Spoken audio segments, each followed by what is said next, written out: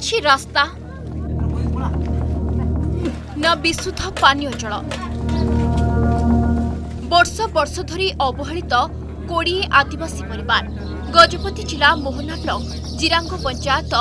ପାହାଡ଼ପଦାଠାରୁ ତିନି କିଲୋମିଟର ଦୂର ପାହାଡ଼ ପାଦଦେଶରେ ରହିଛି ଜାମଡିହା ଗାଁ ଗାଁର ରାସ୍ତା ଏମିତି ଯେ ସାଇକେଲ ନେବା ବି କଷ୍ଟ ସ୍ୱାସ୍ଥ୍ୟସେବା ପାଇଁ ଚନ୍ଦ୍ରଗିରି ଗୋଷ୍ଠୀ ସ୍ୱାସ୍ଥ୍ୟ କେନ୍ଦ୍ରକୁ ଯିବାକୁ ହେଲେ ଅଣ୍ଡିରାଗଡ଼ ଗାଁ ଦେଇ ଦଶ କିଲୋମିଟର ଯିବାକୁ ପଡ଼େ ଭତ୍ତା ଚାଉଳ ଓ କିରୋସିନ ଆଣିବାକୁ ହେଲେ ଚିରାଙ୍ଗ ପଞ୍ଚାୟତକୁ ପାଞ୍ଚ କିଲୋମିଟର ଗଞ୍ଜ ଜଙ୍ଗଲ ପାହାଡ଼ଘାଟି ରାସ୍ତା ଦେଇ ଯାଇଥାନ୍ତି ଗାଁ ଲୋକେ କେଉଁପଟେ ବି ଭଲ ରାସ୍ତା ନଥିବାରୁ ଗାଁକୁ ଆସିନି ଆମ୍ବୁଲାନ୍ସ ଫଳରେ କାହାର କିଛି ରୋଗ ହେଲେ ସମସ୍ତେ ମିଳିମିଶି ଦୋଳାରେ ବୋହି ନିଅନ୍ତି ଡାକ୍ତରଖାନା ଶିକ୍ଷା ବ୍ୟବସ୍ଥା ନଥିବାରୁ କୋମଳମତି ଶିଶୁମାନେ ପାହାଡ଼ ଜଙ୍ଗଲ ଦେଇ ଘାଟି ରାସ୍ତାରେ ଛଅ କିଲୋମିଟର ଅଣ୍ଡିରାଗଡ଼ ଗାଁ ନଚେତ୍ ପାହାଡ଼ପଦା ତିନି କିଲୋମିଟର ରାସ୍ତା ଦେଇ ଯିବାକୁ ପଡ଼ିଥାଏ ଅନେକ ଶିଶୁଙ୍କ ଶିକ୍ଷା ଏବେ ଜଙ୍ଗଲ ମଧ୍ୟରେ ସୀମିତ ରହିଯାଇଛି କାହାକୁ କହିଲେ କିଏ ଶୁଣୁନାହାନ୍ତି ହଁ କରିଦେଉଛନ୍ତି ଭୋଟ ଦେଇଦେଉଛୁ ସେମାନେ ଭୋଟ ପାଇଗଲା ପରେ ରାଜା ହେଇଯାଉଛନ୍ତି ରାଜା ହେଇଗଲା ପରେ ଆଉ କିଛି କହୁନାହାନ୍ତି କିଛି ଆଉ କହିଲେ ବି ଶୁଣୁନାହାନ୍ତି ପଳାଉଛନ୍ତି ଆଉ ଗୋଟେ ଗର୍ଭବତୀ ମାଆକୁ ମେଡ଼ିକାଲ ନେଲେ ଆମ୍ବୁଲାନ୍ସ ଆସିବାର ସମ୍ଭାବନା ନାହିଁ ଏ ଘାଟିରେ ଚାଲିକି ଯିବା ପାଇଁ ଅସୁବିଧା ଆମେ ଆଉ ସାଇକେଲ ଯାଉନି ଆଉ ଏମିତି ହେଇକି ଦୋଳା କରିକି ନେଉଛୁ ନେଲା ସମୟରେ ବାଟରେ ମରିଯାଉଛନ୍ତି ବାଟରେ ପ୍ରସବ ହୋଇଯାଉଛି ଛୁଆ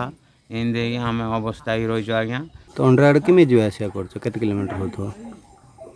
ଛଅ କିଲୋମିଟର କେମିତି ଯିବା ଆସିବା କରୁଛ ରାସ୍ତା କେମିତି ଭଲ ନାହିଁ ଆଉ ବଣ ଜଙ୍ଗଲରେ ଏମିତି ଯାଇ ହେଉନି କାଦ କସଡ଼ା ଯାଇ ହେଉନି ଟୋଟାଲ ଆଉ କେମିତି ପାଠ ପଢ଼ୁଛ ୟା କ୍ୟାଣ୍ଡେଲ କିଣିକି ପାଠ ପଢ଼ୁଛୁ କେଉଁଠି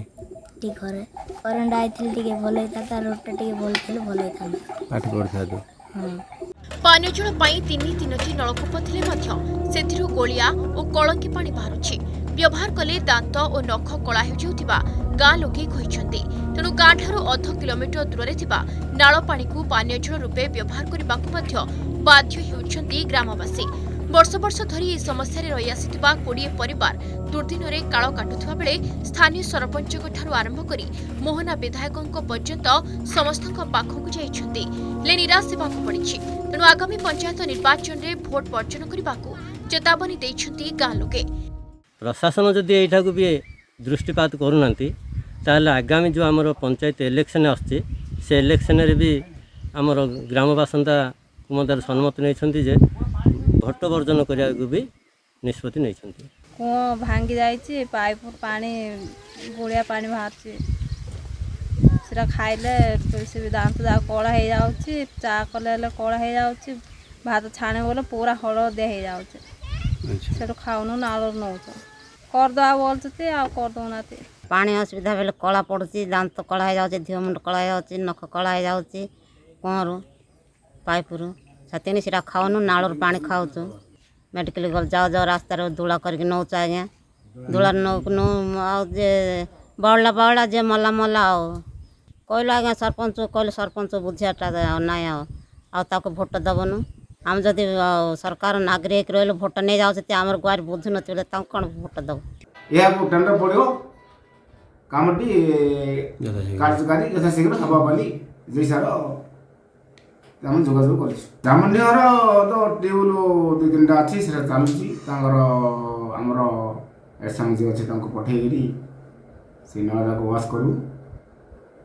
ଏଇ ଗୋଟେ ଦଶ ବାର ଦିନ ଭିତରେ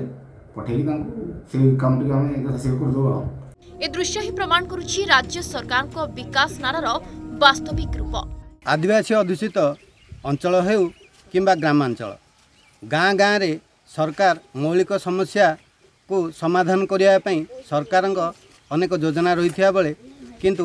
ଆଜି ବି ଅନେକ ଗାଁ ରହିଛି ଯେଉଁଠାରେ ମୌଳିକ ସୁବିଧା ଭଳି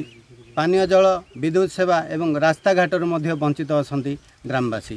ଏଭଳି ସମସ୍ୟା ନେଇ ଗ୍ରାମବାସୀମାନେ ବାରମ୍ବାର ପ୍ରଶାସନିକ ଅଧିକାରୀ କିମ୍ବା ନେତାକୁ ଜଣାଇ ଆସୁଥିଲେ ମଧ୍ୟ ସେମାନଙ୍କର କୌଣସି ଅଭିଯୋଗ କେହି ଶୁଣୁନଥିବା ଅଭିଯୋଗ କରିଛନ୍ତି ତେବେ ଦେଖାଯାଉ ଏମାନଙ୍କର ଏଭଳି ସମସ୍ୟା କେବେ ସମାଧାନ କରିବେ ସରକାର ତାକୁ ହିଁ ଏବେ ସମସ୍ତଙ୍କର ଅପେକ୍ଷା ଗଜପତି ଜିଲ୍ଲା ମୋହନା ବ୍ଲକ୍ ଜାମଢିହ ଗାଁରୁ ଶ୍ରୀହରି ପ୍ରଧାନ ଅର୍ଗସ୍ ନ୍ୟୁଜ୍